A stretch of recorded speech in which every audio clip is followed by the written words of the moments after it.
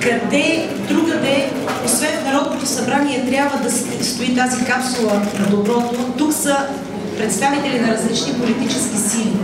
И ние всички, от всички парламентарни групи, народни представители, казваме да на доброто, казваме да на бъдещето на нашите деца, защото всяко едно дете е малка вселена. И тази вселена ние възрастните трябва да я опазим, защото тя е пъстра, тя е красива, но тя е много чуплива. Това е наша отговорност и ние трябва да пазим децата, трябва да им чертаем бъдеще, защото те са наше, нашето бъдеще, което ще бъде по-добро, по-истинско и по-човечно. Още през лятото се обърнахме към всички органи по закрила в Република България да отправят послания за доброто бъдеще на децата в България.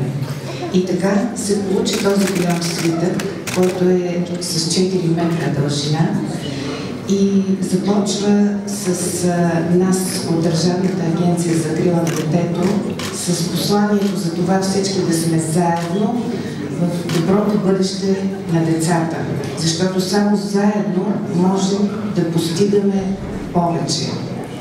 Това, което е след Държавната агенция за закрила на детето, разбира се, второто място, а, въпреки че наистина не са първо, второ, трето, но след това е посланието на съвета на децата към Държавната агенция за закрила на детето.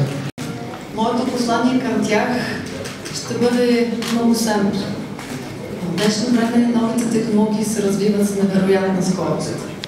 Пожелавам им след 10 години думички като изкуствен интелект, виртуална реалност, квантов компютър, да не са думички, за които им трябва тълкован речник, за да знаят как да си служат с тях. Нещо повече. Те да са тези, които ще ни покажат, технологиите са тук, за да ни служат на нас, хората.